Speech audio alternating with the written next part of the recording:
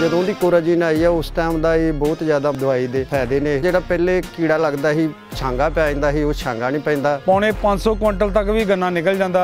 ਹੋਰ ਕਿਸੇ ਦਵਾਈ ਦਾ ਇਸਤੇਮਾਲ ਕਰਨ ਦੀ ਜ਼ਰੂਰਤ ਨਹੀਂ ਪੈਂਦੀ ਇਹਨੂੰ ਪਹਿਲੀ ਸਿੰਚਾਈ 'ਚ ਜਾਂ ਦੂਜੀ ਸਿੰਚਾਈ 'ਚ ਕਿੰਨੀ ਸਿੰਚਾਈ 'ਚ ਕਰਨਾ ਹੋਵੇਗਾ ਪਹਿਲੀ ਵਾਰੀ ਜੀ ਕਰ ਸਕਦੇ ਹੋ? ਕੋਰਾਜੀਨ ਕਰਨ ਦਾ ਤਰੀਕਾ ਹੈ ਕਿ 150 ml ਨੂੰ 400 ਲੀਟਰ ਪਾਣੀ ਚ ਘੋਲ ਕੇ ਨੋਜ਼ਲ ਨੂੰ ਖੋਲ ਕੇ ਡੀਚਿੰਗ ਕਰਨਾ ਹੈ।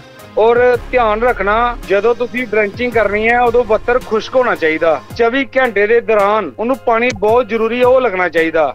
ਸਫਲਤਾ ਦੀ ਕੁੰਜੀ ਹੋਰਾਜਨ ਸਫਲਤਾ ਦੀ ਕੁੰਜੀ ਹੋਰਾਜਨ